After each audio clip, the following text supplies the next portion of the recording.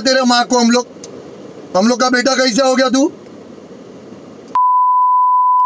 क्योंकि अभी Indian army को बोल दिया है, जो भी भोसड़ी वाला फाइट की बात किया, फिर वो लड़की रहेंगे या लड़का रहने दे, उनके दोनों के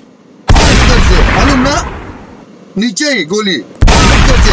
तो फाइट की बात करना ही नहीं, लौड़े। इतना गाड़ में दम नहीं, समझा?